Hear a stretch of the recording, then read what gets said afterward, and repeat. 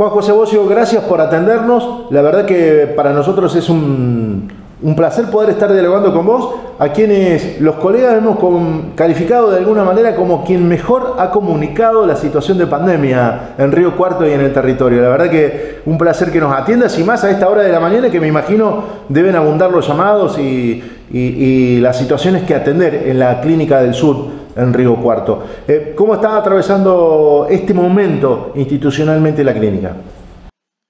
Eh, bueno, estamos con, gracias primero, pero estamos con un, con, muy lleno, diríamos, con el 100%.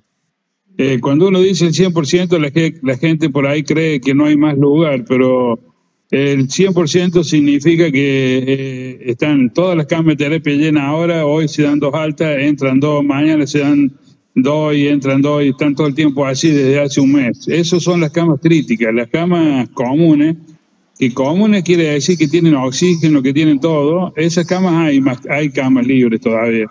Y no, no, no hay problema, pero el resto está muy complicado.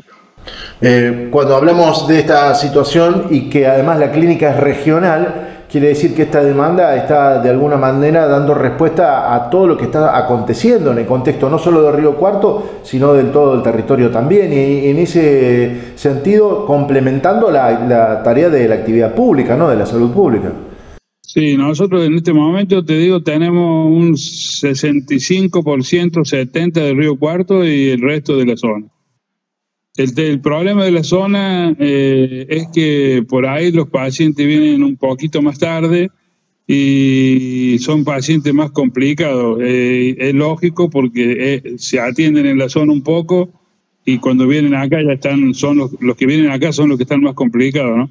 Entonces la gente de Río Cuarto que viene, uno por ahí tiene en el piso mucha gente de Río Cuarto porque le interna antes para tratar de que no llegue al, la terapia. Y en este momento, la verdad, tenemos mucho, muchas cosas por hacerle, mucho eh, tratamiento por hacerle y está funcionando bastante bien el tratamiento. Eh, me tocó ser paciente de COVID y estar internado en la clínica y sé de la dinámica del funcionamiento y de la atención cuando uno está en el lugar. Eh, el recurso humano, independientemente de las camas, es algo que eh, hay que cuidar sobremanera en este tiempo, porque realmente estamos hablando de un ejercicio eh, que eh, exige la mejor calidad de atención, pero además el mayor esfuerzo desde lo físico, desde la entrega de cantidad de horas, desde el agotamiento de las personas del profesional de la salud, médicos, enfermeros y todo, todo el equipo en general. Sí, sí, eso nosotros tenemos mucho cuidado y, y hemos armado tres o cuatro equipos distintos como para que algunos tengan descanso, pero la verdad que estos chicos que trabajan con el COVID son eh, fantásticos porque están todo el día y vos le decís, pero antes te toca ir a dormir, te toca ir a descansar, sí, pero quiero ver primero cómo están y después me voy, que cuesta mandarlos a la casa, la verdad. Y, pero no solo los médicos, ¿no? sino las enfermeras. Vos le, le, llamas a una enfermera que cubre un turno y no, nunca, nunca en este año y medio tuvimos que llamarle dos veces. A, los chicos de limpieza, de maestranza, todo. La verdad que se, se, han transformado en, en, en, una gente que trabaja de manera ejemplar, ¿no? Y a nosotros nos pone muy orgulloso eso y tratamos que desde la dirección de la clínica y la gerencia le estemos dando todo el apoyo que ellos necesitan. Porque la verdad que necesitan todos los EPP para trabajar y necesitan que nosotros le vayamos dando también todos los elementos para trabajar un poquito mejor y tener algún resultado médico mejor, que lo estamos logrando ahora. Eh, Juan, sos un profesional de la salud que venís del territorio, vos sos oriundo de una localidad cercana, pero este, sabes cómo eh, es la lógica de funcionamiento en el territorio, en la región, y, sin lugar a dudas la caja de resonancia, por lo menos para el Gran Córdoba eh, en el sur, es Río Cuarto, y, en ese contexto se mira todo lo que se dice. Y en este sentido tomaste la actitud de, eh, desde las plataformas digitales propias, ir manteniendo de alguna manera informada a la comunidad, dándole no solamente certezas, sino además consejos. Y en ese contexto hiciste mucho hincapié en la prevención, en la toma de conciencia. Estamos un año largo de pandemia y todavía seguimos insistiendo sobre los mismos conceptos. Sí, mira, en, en eso dos cositas. Primero, nosotros decidimos al principio de la pandemia que tenemos que informar lo que está pasando en la clínica, por lo menos para que todo el mundo sepa. Eh, nosotros informamos dos o tres veces por semana número, de, número y cantidad de qué lugar, toda la cantidad de pacientes que tenemos COVID. Y después lo que hacemos darle, tratar de darle algún consejo a la gente es porque eh, a ver, uno, se fija, uno ve que la gente está muy enojada, muy cansada con el tema de, la cuarentena, de las restricciones, que quiere laburar, que quiere, y, lo primero que hace cuando está enojada es descuidarse. Entonces, eh, hay momentos en que todavía no se da cuenta que los que se están muriendo hoy son gente joven. Eh, a diferencia de antes que eran adultos mayores que por ahí la gente pensaba que como eran adultos mayores estaba bien porque tenían 85 años, pero nunca estuvo bien. Una, una persona de 85 años que estaba bien y que se moría, no, no eh, de gripe no se moría. Y de esto sí, ahora le está tocando a la gente joven que realmente es la que no se está cuidando lo suficiente. Entonces nosotros lo que estamos pidiéndole es que no, no es que dejen de trabajar y que no salgan de la casa, pero cuando salgan, por lo menos el barbijo lo use bien, que se lave bien las manos, que se tome un cierto distanciamiento de los otros, que tenga cuidado, que cuide un poco a la gente que es más grande.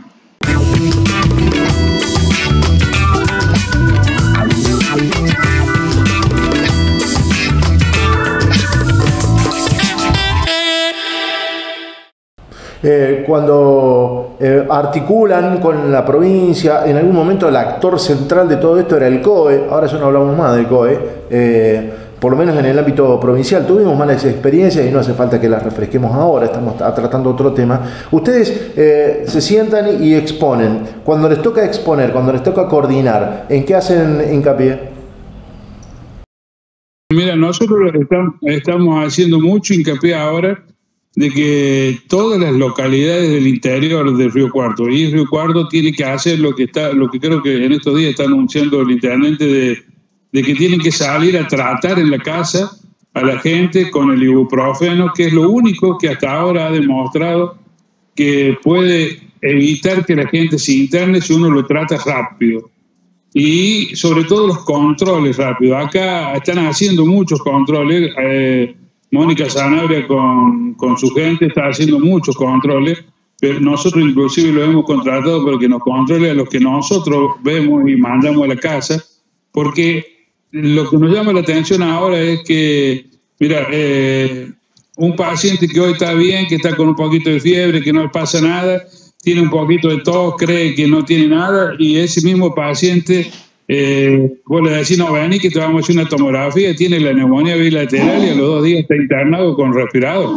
Entonces es lo que tenemos que tratar de evitar, con la ayuda nuestra, con dándole los datos y con, con el, trabajo de los municipios, de los pueblos. Hay, hay pueblos que lo están haciendo muy bien, hay otros que están empezando a hacerlo ahora y la municipalidad de Río Cuarto creo que lo va a empezar a hacer ahora y eso va a disminuir, sin ninguna duda, va a disminuir la cantidad de gente que necesita internación.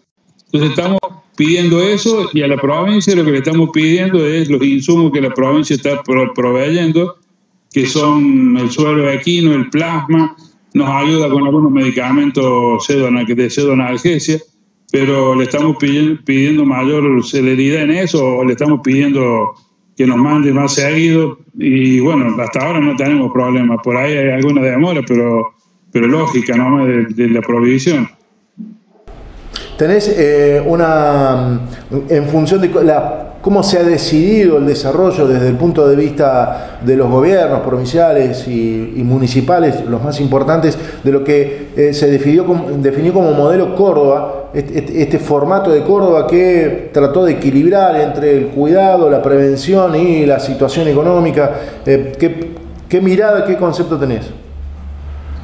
Eh, mira, yo creo que Córdoba ha trabajado muy bien a nivel provincial y estamos en el peor momento de la pandemia y así yo ayer estuve en Córdoba y, en Córdoba la ciudad es no, no normal, pero eh, hay mucha gente circulando. Lo que sí he visto ayer en Córdoba, que todavía no lo he visto acá en Río Cuarto, es que en Córdoba se está cuidando más la gente. Yo ando por, he ido a unos barrios en Córdoba Y, y vos ves ahí que, la, que antes la gente estaba sin barbijo y ahora no, ahora sí está con barbijo. Y la gente acá en Río Cuarto uno va a los barrios y muchas veces no usa los barbijos.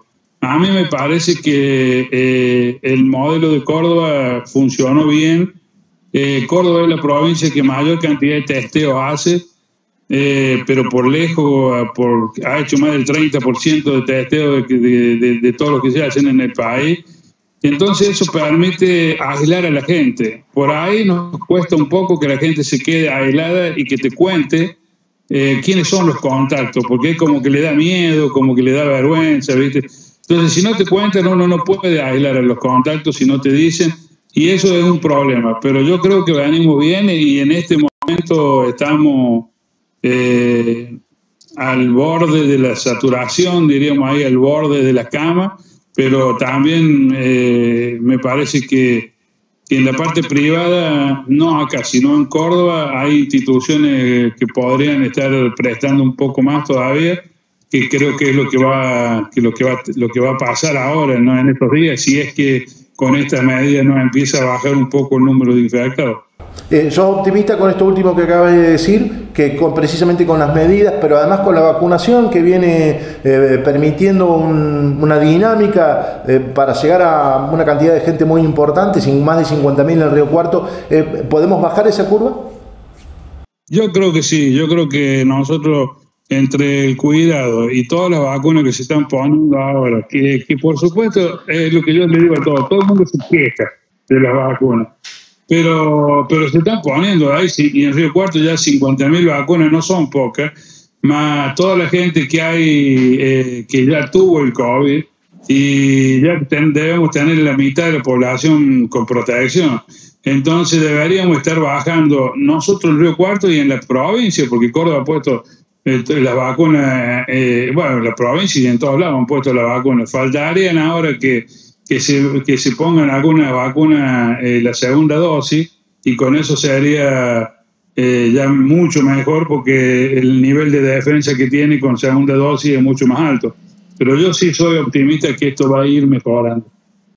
Eh, nos está viendo la gente de todo el territorio, Juan, sobre todo en, el área de influencia donde precisamente la Clínica del Sur tiene eh, un nivel de respuesta y de demanda por parte de la comunidad muy fuerte. Lo que quieras dejar sobre el final como referencia, como mensaje, como eh, conclusión. Mira, yo, yo ahí lo que me gustaría hacer hincapié es que consulten. Esto es directamente bastante joven. la gente que es más grande ya sabe cómo hacer el tipo de 40 a 50 años es un peligro, porque eh, realmente se siente bien en la casa, siente que le duele el cuerpo, que tiene un poco de tos, que tiene un poquito de fiebre, y pasan 5 o 6 días después de, que se ha contagiado y sigue igual, y él cree que es una gripe o que es como una gripe y que se le va a pasar. En ese caso tienen que consultar, tienen que hacerse una tomografía o una radiografía si no tienen tomógrafo y si tienen que venir al Río Cuarto consultar antes que vengan y le dirán a dar el tratamiento que corresponde y el control que corresponde porque si nosotros agarramos, estamos internando al paciente en tiempo y en forma, hoy el resultado médico es muchísimo mejor que cuando vos estuviste internado, que era bastante más riesgoso. Eh, ahora, la verdad, tenemos muchas más alternativas para tratar y con eso estamos teniendo muy buenos resultados pero claro, el problema es la cantidad de gente. Entonces, yo le digo, la, que se sigan cuidando y la consulta temprana al médico y un buen control. Eso es lo que tienen que hacer. Gracias, como siempre, Juan. No, gracias a ustedes.